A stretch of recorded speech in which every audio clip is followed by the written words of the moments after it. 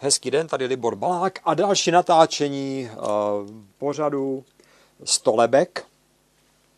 A já jsem dneska si vytáhnul téma povídání o tom, jak něco málo o kreslení, o kresbách, o vědeckých kresbách, o světě vědeckých kreseb, uh, fotografií a nejrůznějších zobrazování.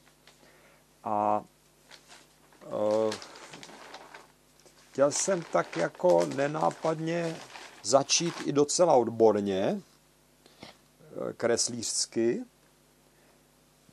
že je jakási taková ta, eh, takový ten eh, obor třeba kresby, ilustrační grafika, ilustrační kresba. A tam se učí člověk jakési zásady kres, kresby, jakési zásady eh, té grafiky, že například to a ono a já tady si vezmu eh, ten, ten, eh, tu mou tabuli a tady vidíte, že něco může být silnější čára, něco může být tenká čára. To už jsou ty takzvané výtvarné výrazové prostředky a ty mohou už něco vyjadřovat. Můžou vyjadřovat stín, když nakreslím rybičku, tak můžou ukázat, že ta rybička je kulatá, že na ní z hora svítí takhle světlo. Sledujeme. A tady udělám tmavší linku a vypadá, že rybička je pěkně kulatá, protože má tady stín na spodní straně těla. Tady, že má vypouklá očička, a rybička do atlasu je téměř nachystaná. Ale jindy můžu udělat tmavou linku, taky výtvarný výrazový prostředek. A světlou linku udělám tady dole. Proč? Protože vyjadřuju, že tady ta ryba z hora je tmavá, tady kůže nahoru je tmavá a tady na té břišní straně tak je ta rybička pěkně světlá. Čili úplně pravý opak. To jsou všechno ty výtvarné výrazové prostředky a ten výtvarník si s tím musí sám nějak pohrát, musí to nějak řešit podle nějakých zákonitostí, musí si to naštudovat, musí se rozhodnout, pro to, co tam má dělat, jak to má dělat, kdy to vypadá dobře, jak to vypadá dobře. Prostě se tam učí, jak tu kresbu, jak přesně něco nakreslit a jak, jakým způsobem, z kolika pohledů, aby, a vlastně, a to je to důležité, a proč to vlastně děláme. No proč, proč eh, vlastně se, se něco takhle kreslí. Eh, nám říkali ve škole, že to může být z toho důvodu taky, že když eh, by náhodou ten eh, třeba budu něco kreslit eh, v muzeu, tady mám kresbu,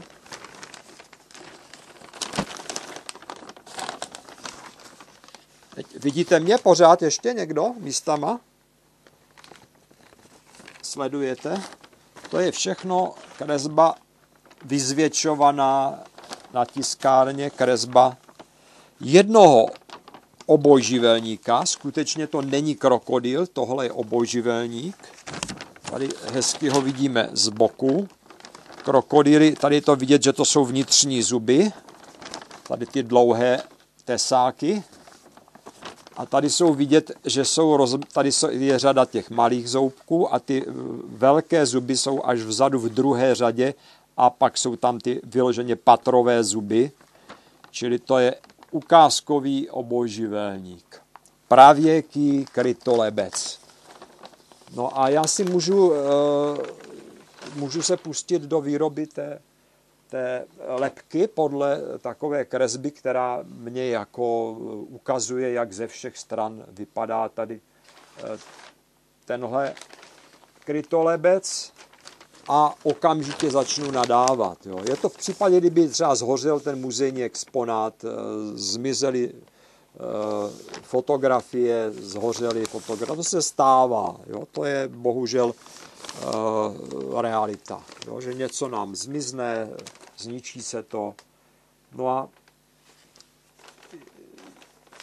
já velice rychle vlastně zjišťuju, kde má taková kresba své hranice, protože v momentě, kdy se pustím do prostorové kresby tady, tady té lepky, tak nevím, jak ty oči vlastně mají tam být, jak jsou tam situovány, jak je to modelováno, protože ten pohled je tam eh, pouze ze zadu, nikoli ze předu, takže bohužel stejně tak eh, nejsou tady šrafy, nejsou tady, není tady šrafura.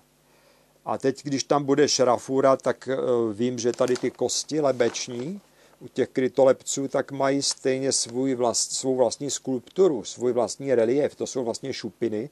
A ty šupiny mají eh, vlastní fasádu takovou charakteristickou. A tak mám vysvětlovat, ukazovat tu fasádu, nebo celkově tu modelaci, anebo eh, radši celkově vůbec, že dám dohromady aspoň to, co tady mám, protože ta lepka tady toho ve skutečnosti je polovina a eh, velkou část jsem si tady vymyslel. Jo, to, to člověk musí potom mít a musí tyhle věci zkoumat, hledat v obrázky těch skamenělin eh, v tom původním, eh, v tom původním materiálu, protože kdo ví, jak ty věci vypadají a když něco takhle zrealizuju, to je třeba tato lepka, tak podle kresby jenom, tak opravdu, opravdu eh, netuším, nakolik je autentická. A nabarvíte tu lepku, uděláte s tím všechno možné podle té kresby. Stejnak se docela často stává, že to v té kresbě nelícuje.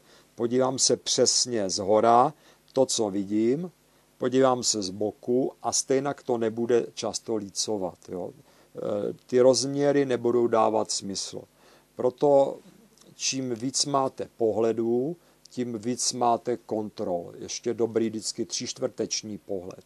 Ten třičtvrteční pohled viděl jsem i, že fotili nějakého jednoho dobře dochovaného krytolepce, vzácně kompletní dochovaná lepka, tak eh, byl ještě ze zadu třičtvrteční pohled. Perfektní. Jo, eh, nezapomeňme že taky, že ty lepky bývají všelijak eh, rozmačkaný, deformovaný, když se kreslí, složitě se to tam jako dostává, někdy lepší to rovnou udělat v tom modelu. Někdo to dělá v počítači, já to radši dělám takhle, abych věděl, co to je, rovnou co z toho vypadne, tak to udělám ručně v ruce, protože nás na škole učili spoustu věcí dělat ručně v ruce, tak to dělám jako konstrukci. Eh, sochař by to udělal z plasteriny a potom by to odlil, ale to jsme se bavili právě teďka s jednou spolužačkou mou ze školy, která byla na plastice, že vlastně ta má metoda je na rozdíl od té hlíny a té plasteriny dobrá, vlastně v tom vždycky to vezmu a je to to nejlevnější, nejrychlejší na ty následné opravy, předělávky, kdykoliv narazím na lepší materiály. Ty kresby nejsou vždycky, nebo když jsem prošel celý, celou knihovnu v Antropose, na Zelňáku v Brně tady eh, v té vědecké části, v, té, v, té, v tom ústavu, tak eh, zapomeňme na to, že jsem tam našel nějakou skutečně kresbu, byť jen jednu jakéhokoliv nálezu, lepky pravěkého člověka nebo jejich předků a příbuzných forem, Prostě to byly takové schematické kresby, eh, rádoby kresby, reprezentační kresby, fotografie, kde ohnisková vzdálenost eh, mohla deformovat ty celkové tvary. Něco takového, kdyby si dělal celkovou představu, ještě tam měl ty měřítka dobrý, jo, u té lepky, dobře, dám tam měřítko a to měřítko jsem dal tady tady, tady ona je docela dlouhá ta lepka, on ten centimetr, když tady nafotím, tak bude vypadat eh, na té, na té ploše, bude vypadat jinak než tady. Jo. S tou kresbou si můžete pohrát víc než s tou fotografií. U té fotografie bych tady dal dobře tady jedno měřítko, tady druhé měřítko, třetí a čtvrté. A dělal bych si řezy podle toho měřítka. Jo, to, to dává nějakou logiku. Když chci, aby vypovídala ta fotografie uh, o, prostorovi, o prostoru, o té konstrukci té lepky. Stejně tak fotografie té lepky toho uh, lovce mamutu z předmostí, tuhle nehledejte nikde, jo? v žádném muzeu. Tu mám jenom já. Tak. to nemá žádné muzeum. To, to je jenom moje, tahle zhořela. V Mikolově na konci války před 77 roky. Takže radši jsem si ten soubor udělal. Tak, abych vy, mohl se dělat ty portréty, že? Takže e, toho chlapíka z předmostí vidíte, že má slušnou bradu, jo? A to použil třeba Eh, do knihy, do paleontologie si ho použil, paleontologie obratlovců, eh, tohle byl pan profesor Špinár, tak ten si ho tam použil s, s tou bradou, nedal si tam s, s tou velkou pusou tu klasiku, co přežila v tom odlitku, ale dal si tam tohodle chlapíka, co vypadá tak jako moderně. A je pořád spousta práce. Pořád na té lepce je spousta práce už eh, jsem hodně upravil, hodně jsem pochopil z toho, jak eh, si dělám ty modely podle těch dochovaných lebek, tak podle nich jsem tady hodně už poupravoval, protože zase to bylo nafoceno pouze ze předu, z boku a eh, z hora něco ze zadu a tři čtvrteční pohledy úplně chybí, tři čtvrteční z hora, tři čtvrteční ze spodu, ze zadu docela, docela e, zoufale nakresleno, není, není v tomto ohledu žádná kresba e, není vhodná. Já tady zalistuju někde trošku jinde, protože ono je to komplikované. Já vím, co budu, co vyžaduju, co chci, proto když si já kreslím něco pro to, abych si mohl udělat ten model, tak tady si udělám kresbu, Eh, tady je vidět eh, lepka krokodýla, vidíte tady tu strukturu té lepky, ale vidíte tady i šrafuru, té modelace, zastínění a modelace. A stejně mně je jasné, že přesto, že se maximálně snažím, aby všechno bylo típ-top, jak ten pohled ze spodu na tu lepku, vidíte, že tady je jenom jedna řada těch zoubků, Jo, že tady to není, není jak u těch krytolepců, tady vevnitř nejsou zuby ze spodu té lepky. A tady je ta lepka z boku. To jsou takové ty klasické, klasické kresby, kde ta šrafura vysvětluje, jo, tady to je vyloženě takové ty, ty kružnice, kruhy jsou tam vidět, protože tam chodil sval, který byla hmota, která má ten průřez s tím kruhem přirozeně.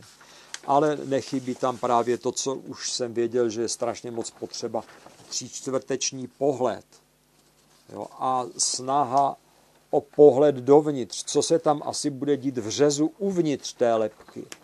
Protože aby jsme neklouzali jenom po povrchu té lepky, aby to nebyla jenom ta skořápka, aby to eh, nebyla ta skořepina. Ale vevnitř něco je, jsou tam eh, někde, když nadechne ten ještěr, tak mu tam běží někde vzduch a někde zase mu tam vybíhá. A kde a co se tam děje? A kde je to patro? A je to primární patro nebo sekundární patro, jak to tam chodí, kde jsou ty čelistní svaly, to je vlastně schránka na čelistní, hromada schránka vedle schránky lepka. Lepka je prostě nábytek, kde je spousta zásuvek. A zároveň je to ten tank, který e, průzkum bojem v terénu. A co bylo fascinující, takže ta spodní čelist, tam je prostě jak šufánek, naběračka, do ní vezme mládě, do ní vezme vejce. A to je prostě ta anatomie, to je to propojení s tím chováním, to, co jsem říkal u té planety opic, jo, že to tak, jak máte tu ruku, tak je to propojeno s tím chováním. Ta ruka vezme předmět a hned ještě se na to podíváte, víte, jak to vzít, když to berete, už zkoušíte, kde je tam těžiště. Ta ruka je senzor u nás. Takže když chytnu tu, tu, ten nástroj a jdu kreslit, tak prostě eh, ovládám něco velmi dokonale, protože hned vím, kde je to těžiště.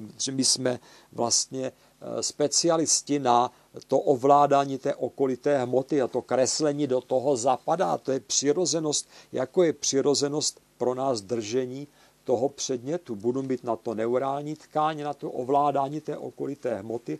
A tohle, ta lepka byla taky okolitá hmota.